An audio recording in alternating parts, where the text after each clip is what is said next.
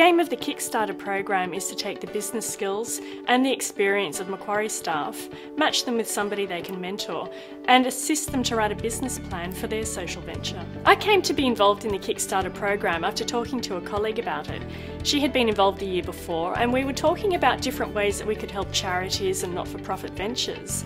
And she talked me through the whole mentoring process and what you do and the skills that we're able to actually provide and help these social ventures. And so I contacted the foundation to find out a bit more about it. And then when applications opened up that year, I applied and the rest is history.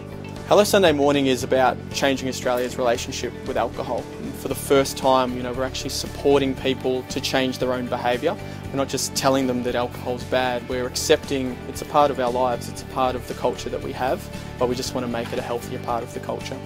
Being a mentor for Hello Sunday Morning has really reinforced the fact that you can use the same skills when you're working with different colleagues at Macquarie, and that people know a lot more than what they realise, and they do take knowledge for granted. So, quite often, it's about using open ended questions to get that knowledge out of people's heads and to get it into a sphere where you can really use it and where other people can leverage off that knowledge and take things further as well. Now, with Juliet, there was somebody who knew nothing about me, nothing about Hello Sunday Morning, and would ask me really tough, challenging questions. And the first couple of meetings, I was a bit, you know, who is this person? What does she, you know, what does she know?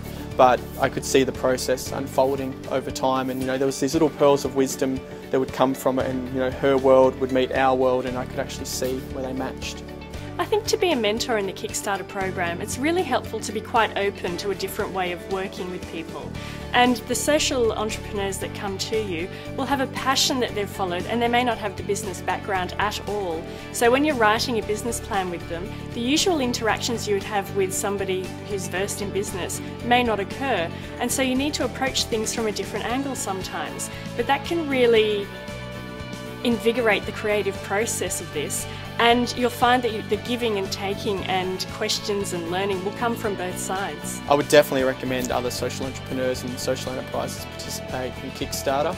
Even if you don't win Kick Starter, the other resources you get through the program are amazing. You know, you get the person at Macquarie, your actual mentor that you can work with, access to the foundation, and we've found that it's just validated our project in the business community, which is something we didn't have before. I would absolutely recommend you get involved in the Kick Starter program.